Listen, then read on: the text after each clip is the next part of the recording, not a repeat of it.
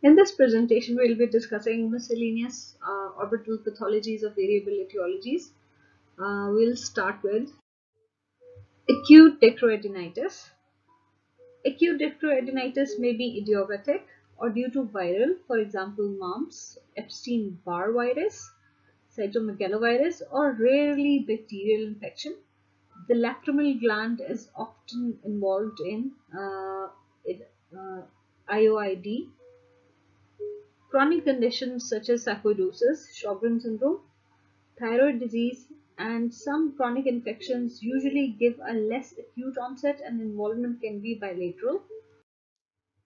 Patients present in acute disease with the rapid onset of discomfort in the region of the gland.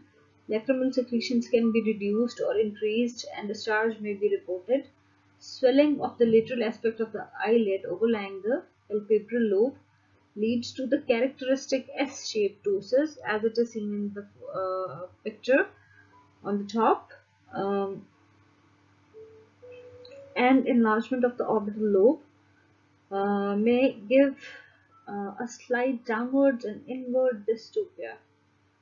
Occasionally, uh, proptosis and other signs of the orbital disease may also uh, be seen. There is tenderness over the lacrimal gland and injection of the conjunctiva uh, overlying the palpebral lobe may be seen on the upper lid version as it is seen in the uh, uh, bottom picture. Chemosis may be present. Uh, there may be local, for example, pre-auricular lymph node enlargement. Now, CT scan shows enlargement of the gland involvement and uh, uh, you can see that here in this uh, CT scan picture uh, there is uh, enlargement of the gland and opacification of the adjacent tissues. There adjacent tissues are also opacified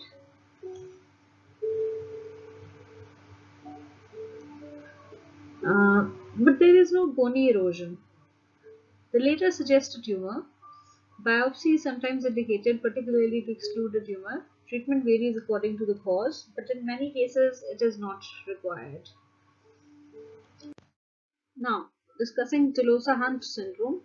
Uh, it is a rare idiopathic condition caused by non-specific granulomatous inflammation of the cavernous sinus, superior orbital fissure, or orbital apex. It is diagnosis of exclusion and should be investigated fully. Presentation is with uh, ipsilateral, periorbital or hemicranial pain and diplopia due to ocular motor nerve paresis with pupillary and eyelid involvement in many cases. Uh, proptosis, if present, is usually mild. Sensory loss along the distribution of first and second divisions of trigeminal nerve is common. The patient may be pyrexial.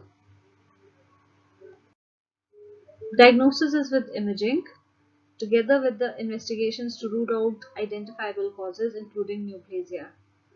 Uh, treatment is with the systemic steroids and other immunosuppressants as necessary. The clinical course is characterized by remission and recurrences.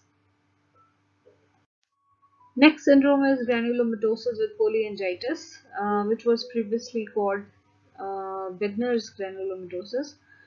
It is also an idiopathic multisystem uh, granulomatous disorder that may involve the orbit, often bilaterally, usually by contiguous spread from the paranasal sinuses or nasopharynx.